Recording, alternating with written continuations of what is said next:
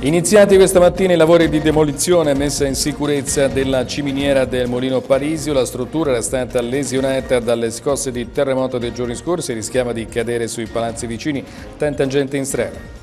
La Commissione Grandi Rischi parla di nuove possibili forti scosse di terremoto in Emilia Romagna suscitando la rabbia dei sindaci che parlano di allarmismo ingiustificato. In tutto questo la terra trema ma a Belluno. Tre persone sono state fermate nella notte a Bologna dai carabinieri per concorso nell'omicidio di Dino Reatti. L'artigiano di 48 anni era stato pestato a sangue l'altra notte nel cortile di casa nella campagna di Anzola Emilia ed era poi morto all'ospedale Maggiore.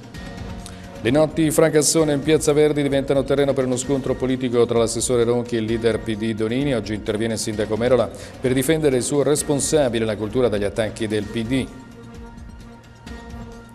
Picchia la compagna incinta in auto in mezzo al traffico, è successo a Bologna ma un automobilista vede tutto e chiama la polizia. Gli agenti nel giro di pochi minuti bloccano un montenegrino di 26 anni e portano la donna in ospedale.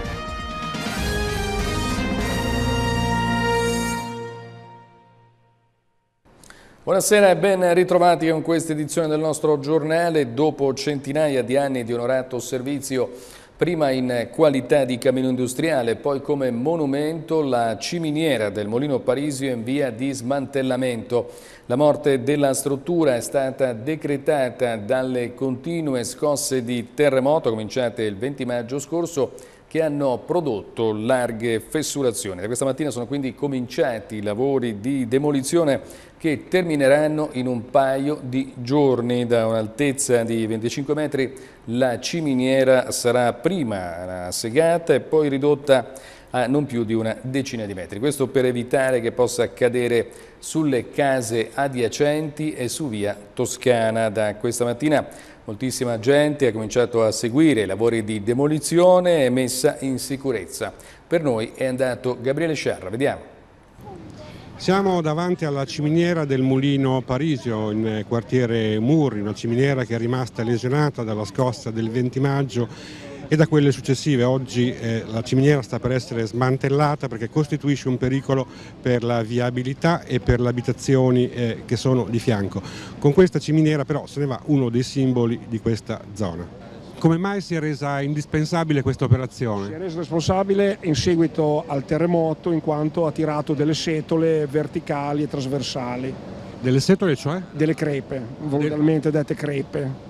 Ecco, e come procederete adesso? Adesso imbraghiamo dei conci per un'altezza di 1,30 m, dopodiché con una macchina da taglio tagliamo i conci e con la gru li caliamo sul bilico per portarli poi via, che verranno recuperati, messi in un magazzino in attesa di decisioni di cosa farne.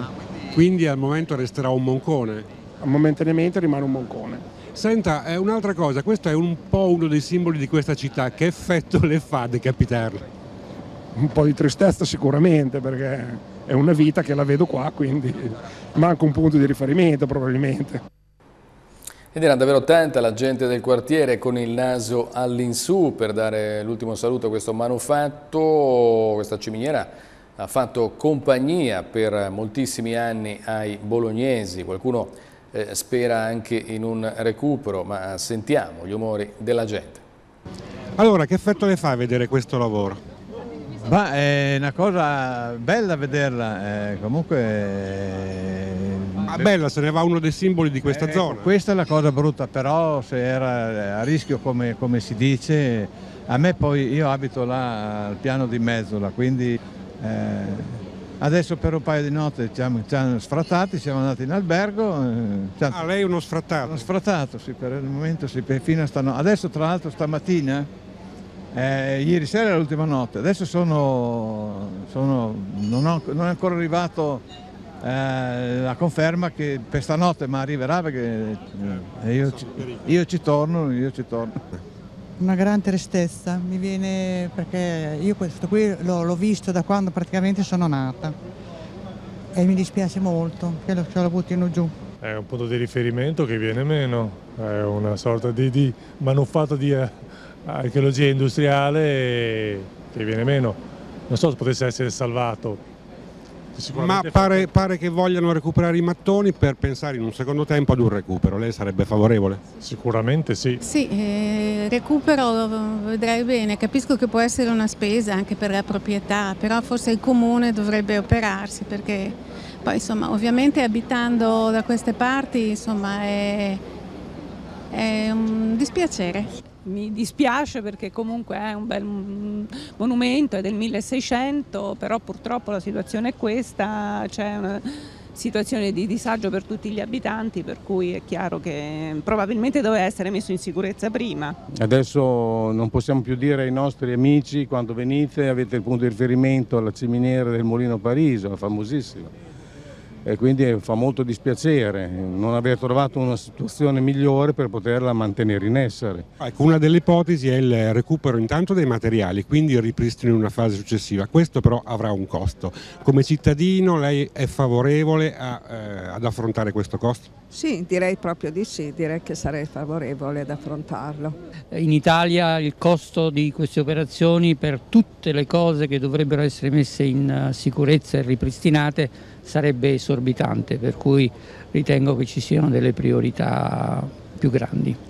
Eh, con molta tristezza sto guardando e documentandomi un pochino nel privato mio e quindi penso che per molti bolognesi, ieri sera c'era un signore qua che, molto anziano che piangeva un po' e mm, mi, ha fatto, mi ha colpito. D'altra parte mi pare che sia del 1600, dicono, non so esattamente, ma comunque sia è una cosa un po' triste per Bologna. Vorrebbe rivederla sorgere in qualche modo? Io spero, anche se molte persone pensano che siano come tutte le cose vecchie da buttare, eccetera, che non sono d'accordo assolutamente, io mm, vorrei rivederla. Ancora scosse nelle zone terremotate dell'Emilia, la più forte di magnitudo 3.4 registrata alle 15.25, intanto si continua a discutere anche aspramente dopo che la Commissione Grandi Rischi ha annunciato nuove possibili forti scosse. Qualcuno parla anche di allarmismo ingiustificato. Vediamo il servizio di Massimo Ricci. Il parere della Commissione Grandi Rischi sul terremoto in Emilia genera polemiche e anche qualche piccata risposta da parte dei sindaci dei comuni colpiti. Gli esperti, nella loro relazione al governo, hanno spiegato che, testuale, nel caso di una ripresa dell'attività sismica nell'area già interessata è significativa la probabilità che si attivi il segmento tra Finale Emilia e Ferrara, con eventi paragonabili alle maggiori scosse sismiche registrate nella sequenza. In molti hanno tradotto in l'emergenza l'emergenza non è finita, non si escludono nuove forti scosse. Apriti cielo, i sindaci perplessi chiedono a questo punto che cosa debbono fare. Il numero uno della protezione civile, Gabrielli, tenta di correggere il tiro. La situazione non è prevedibile, gli fa eco il presidente dell'Emilia Romagna Errani, che getta acqua sul fuoco. La relazione della Commissione Grandi Rischi è solo un dato statistico. Decisamente arrabbiati, si diceva alcuni sindaci. Il primo cittadino di finale Emilia, Fernando Ferrioli, per esempio, prende di petto la Commissione. Noi qui stiamo tutti cercando di risollevarci e di tranquillizzarci e arriva questa notizia. Dove erano queste persone prima del terremoto? si chiede Ferioli, una domanda che probabilmente non avrà mai una risposta. L'ansia in qualche modo generata dal rapporto della Commissione ha fatto vivere la scossa di oggi, magnitudo 3,4, epicentro tra Medolla, Mirandola e Cavezzo, certamente peggio di quanto fosse necessario. E allora corregge il tiro Luciano Maiani, presidente della Commissione Grandi Rischi. Potrebbe esserci una nuova scossa di terremoto solo se riprendesse l'attività sismica, ma non è detto, i terremoti non si possono prevedere. Già, e mentre gli esperti si arrovellano sulle scosse emiliane, la terra tremava con magnitudo 4,5, fortunatamente nessun danno, peccato che l'epicentro fosse a Belluno. E del terremoto ha parlato anche il vicepresidente del Senato Vannino Chiti che ieri sera era a Marzabotto per una visita al Sacrario dei Caduti e per partecipare ad un dibattito alla festa dell'unità. Sentiamo le parole del vicepresidente del Senato, Vannino Chiti. E ho avuto l'occasione a Venezia, alla festa della Marina, proprio di parlare con il presidente napolitano. Le ho chiesto eh, di questa sua visita, delle impressioni, avevo visto la sua commozione. Lui mi ha detto che naturalmente il colpo è stato duro e si vede, ma che c'era da, da, un lato una risposta di solidarietà di molte parti del paese, anche di, presenti, di presenze di volontari e dall'altro ha trovato come sappiamo una popolazione dell'Emilia Romagna che è una popolazione abituata a rimboccarsi le maniche, cioè sa delle difficoltà del colpo duro che ha subito ma vuole in piedi, vuole eh, farcela e mi pare che si debba anche dire che il governo ha fatto un buon decreto eh, per eh, sostenere eh, la ripresa delle popolazioni delle aree dell'Emilia Romagna. Ora bisogna attuarlo e mettercela tutta per fare alla svelta e per essere vicini. Ecco, sono imprese proprio della zona, che, della zona colpita dal terremoto che rischiano di o dover cessare definitivamente l'attività o dover spostarsi altrove. E questo è il problema che bisogna evitare. Tra l'altro eh, alcune di queste imprese, un, alcuni di questi distretti sono i primi in Europa, ad esempio eh, quelli nel biomedico e, e, sono in genere un punto eh, importante, pulsante della vita del Paese, quindi è fondamentale per l'Italia, non solo per l'Emilia Romagna, che queste imprese possano riprendere rapidamente il lavoro, lo possano riprendere naturalmente in condizioni di sicurezza, che non ci siano delocalizzazioni per l'Emilia Romagna e per l'Italia e dobbiamo mettercela tutta per realizzare questo obiettivo. E sono passate più di due settimane dal primo sisma del 20 maggio che ha dato il via ad uno sciame che ancora continua, ma già eh, dalle prime ore si è attivato l'Ordine degli Architetti di Bologna, mettendo a disposizione squadre di specialisti per le eh, verifiche sugli edifici eh, lesionati. Un'opera che continua anche ora e che è indispensabile per avviare le fasi di eh, normalizzazione e ricostruzione. Nella prima edizione del nostro telegiornale delle 13.45 abbiamo fatto il punto con il presidente degli architetti Pier Giorgio Giannelli. Ora vi proponiamo uno stralcio, vediamo. Ma l'argomento è molto spinoso perché chiaramente eh, ci sono dei distretti economici molto importanti, insomma il PIL della provincia di Modena è uguale a quello del, della Sicilia e quindi c'è un problema di fermare la produzione. Non bisogna secondo me, a mio avviso, avere fretta perché aver fretta di ricominciare si rischia di fare come nel Friuli, dove la seconda scossa è quella che ha provocato eh, più vittime in assoluto. Secondo me bisognerebbe trovare del, delle strutture all'interno delle province eh, colpite che siano, sia possibile mettere in sicurezza in poco tempo e lì delocalizzare quelli, quelle industrie che sono state colpite. Io la butto lì, pensavo anche che potessero essere utilizzati alcuni, alcuni poli fieristici tipo quello di Modena o di Ferrara che eh, potrebbero avere la possibilità di ospitare qualcuna di queste industrie. Altro grosso problema è quello dei beni eh, culturali, dei beni architettonici, beni storici seriamente danneggiati o comunque distrutti. Ecco, qui in questo caso avete delle proposte? il, eh, il, grosso problema, al di là del, dell'altissimo contributo di vittime che eh, le nostre province certo, hanno pagato, molto del patrimonio culturale è stato danneggiato e, in particolare sono andati persi eh, alcuni edifici simbolo che tanto contribuiscono a creare quel sentimento di identità certo, e di appartenenza che lega le comunità certo. ai propri territori. Per questo motivo eh, la Federazione del, degli Architetti dell'Emilia Romagna e il Consiglio nazionale hanno varato una campagna di raccolta fondi che si chiama Ricostruire l'identità eh, che appunto eh, vuole raccogliere dei contributi principalmente dagli altri ordini, eh, siamo 105, per poter ricostruire uno di questi simboli sul territorio. Senta, in generale per la ricostruzione quali sono le proposte?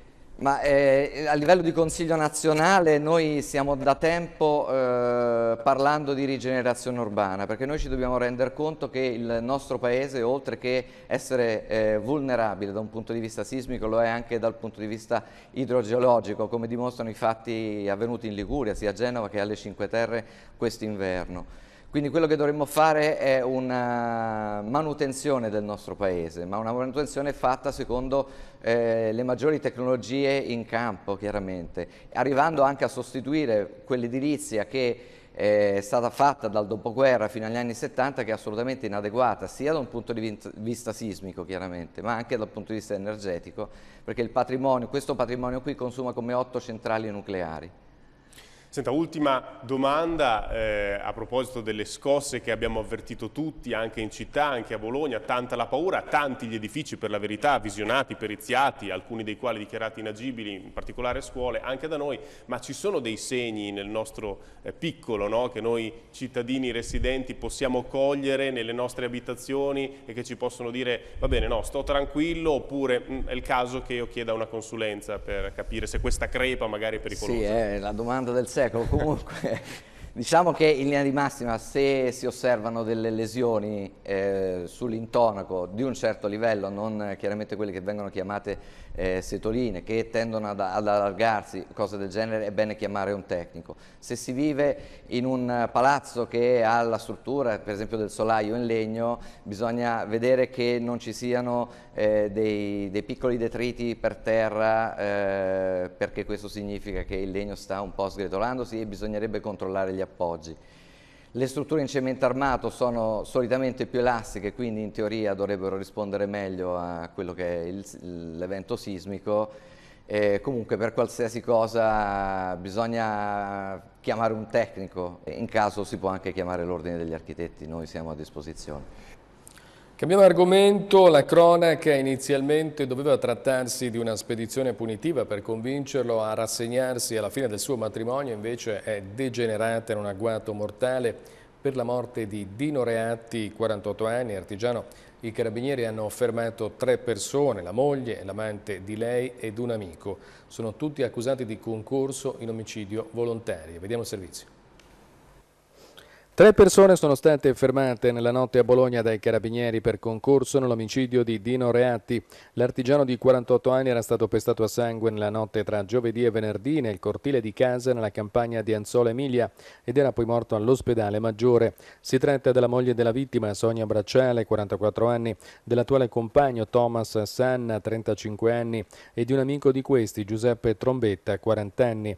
L'ipotesi che ha portato gli investigatori coordinati dal PM Rossella Poggioli Poggioli. A chiudere il cerchio intorno ai tre è che la donna, con la quale Reati era in crisi da tempo e che si stava per separare, abbia istigato gli altri due. Sentiti per tutto il pomeriggio di ieri e per parte della serata dai carabinieri, alla fine dopo alcuni tentativi di depistaggio i due uomini hanno ammesso, spiegando che la loro intenzione era quella di dargli una lezione per intimidirlo. Poi però, quando questi hanno reagito, hanno perso la testa e si sono accaniti anche con spranghe di ferro.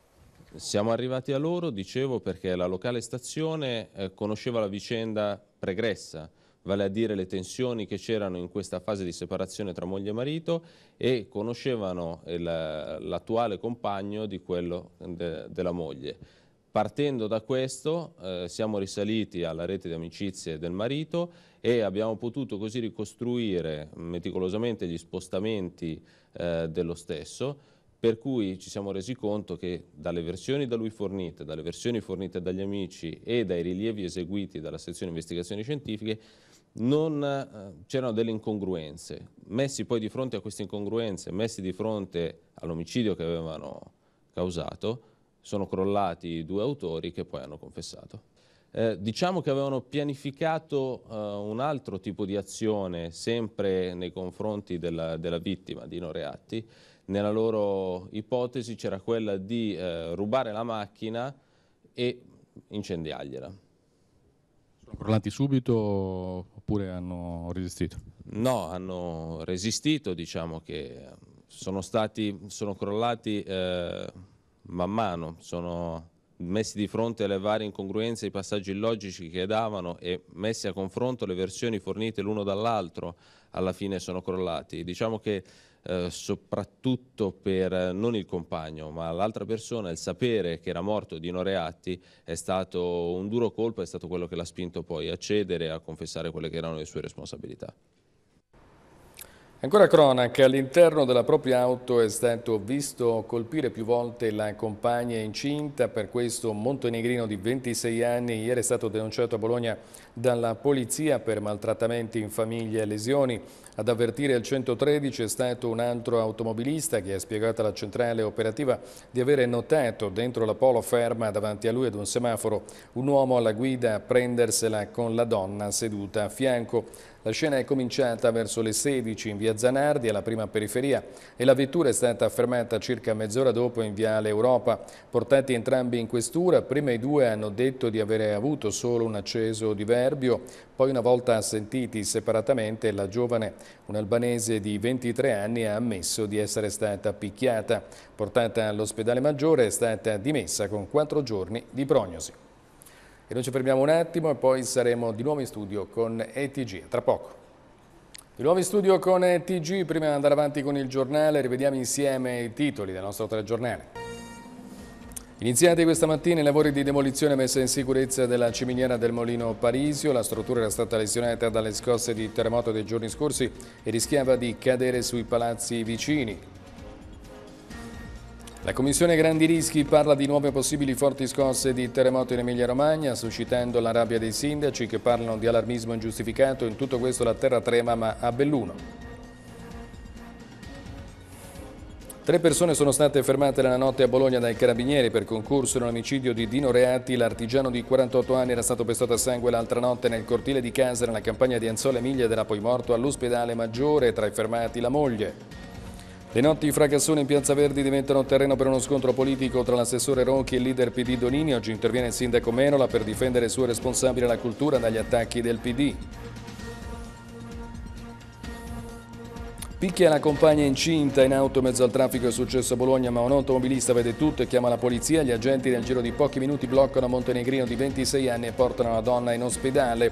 Per l'uomo l'accusa maltrattamenti e lesioni di, eh, familiari. Il programma di concerti estivi in Piazza Verdi si trasforma in uno scontro politico tra la Giunta Merola ed il Partito Democratico. In mezzo i cittadini che chiedono di dormire e sono pronti a fare causa. Servizio di Massimo Ricci. Che la situazione di Piazza Verdi fosse ormai un caso lo si sapeva, adesso però diventa anche un caso politico. La famosa piazza è sede dei concerti dell'estate rock ideata dall'assessore comunale Alberto Ronchi. I comitati dei cittadini residenti hanno espresso la loro contrarietà, memori delle notti fracassone delle estati passate, ma l'assessore ha tirato dritto e li ha bollati come tromboni. È a questo punto che è intervenuto il leader provinciale del Partito Democratico Raffaele Donini a stoppare l'assessore Salvatore, meno spocchia, più umiltà e più dialogo, attacca Donini. Io non ho la verità in tasca, ma diffido di chi la brandisce. Ronchi però non pare cedere e a dargli manforte scende in campo il sindaco in persona, Virginio Merola. In Piazza Verdi si va avanti con la programmazione culturale decisa dall'assessore, dichiara il primo cittadino, che spiega il problema non attiene alla programmazione culturale, ma agli assembramenti di persone dopo i concerti. Donini non mi sembra sia entrato nel merito della programmazione culturale, commenta Merola, che però ci tiene ad aggiungere. Come per tutti gli assessori di questa giunta non esiste che qualcuno faccia qualcosa che il sindaco non condivide. Intanto i residenti vanno avanti. Il comitato di Via Petroni sta preparando un ricorso al TAR, documentando con certificati medici i disturbi di salute per chi non riesce a dormire. In arrivo anche una causa legale. E Raffaele Donini, segretario provinciale del PD, non si scompone di fronte alla reazione di Merola che oggi, come abbiamo sentito, ha difeso il suo assessore alla cultura Alberto Ronchi e l'estate rock. Mica avevo chiesto delle dimissioni, fa notare Donini, che poi aggiunge ho chiesto meno spocchi e meno arroganza perché come fa il sindaco serve dialogo, confronto e apertura, ma rispetto a tutto questo piazza la stoccata Donini, Ronchi mi sembra ancora un po' lontano. E grande successo ieri sera per la notte bianca a San Lazzaro di Savena, alle porte di Bologna. Ieri c'è stato un pienone oltre ogni aspettativa, ha ricordato il sindaco Marco Macciantelli, una marea di gente, moltissimi giovani, la via Emilia pedonalizzata, chiusa al traffico, aperta al passeggio tra via Iussi e via Fornace, restituita ai cittadini con un senso molto forte di riappropriazione. Queste dunque le parole del sindaco di San Lazzaro Marco Macciantelli. Noi ci fermiamo un attimo, a tra poco. Di nuovo in studio con ETG non ci sono aggiornamenti dell'ultima ora, rivediamo insieme i titoli del nostro giornale. Iniziati questa mattina i lavori di demolizione e messa in sicurezza della ciminiera del Molino Parisio, la struttura era stata lesionata dalle scosse di terremoto dei giorni scorsi, rischiava di cadere sui palazzi vicini, tanta gente in strada per dare l'addio a dei punti di riferimento della città. La Commissione Grandi Rischi parla di nuove possibili forti scosse di terremoto in Emilia-Romagna, suscitando la rabbia dei sindaci che parlano di allarmismo ingiustificato. In tutto questo la terra trema, ma a Belluno. Tre persone sono state fermate la notte a Bologna dai carabinieri per concorso nell'omicidio di Dino Reati. L'artigiano di 48 anni era stato pestato a sangue l'altra notte nel cortile di casa nella campagna di Anzola Emilia ed era poi morto all'ospedale Maggiore, tra i fermati la moglie. Le notti fracassoni in Piazza Verdi diventano terreno di per uno scontro politico tra l'assessore Ronchi e il leader PD Donini. Oggi interviene il sindaco Merola per difendere il suo responsabile alla cultura dagli attacchi del Partito Democratico. Picchia la compagna incinta in auto in mezzo al traffico, è successo a Bologna ma un automobilista vede tutto e chiama la polizia, gli agenti nel giro di pochi minuti bloccano Montenegrino di 26 anni e portano la donna in ospedale. Per l'uomo l'accusa è di maltrattamento e lesioni di familiari. Ed è tutto con questa edizione di, del nostro telegiornale, grazie per l'attenzione, a tutti voi una buona serata e un buon fine settimana, arrivederci.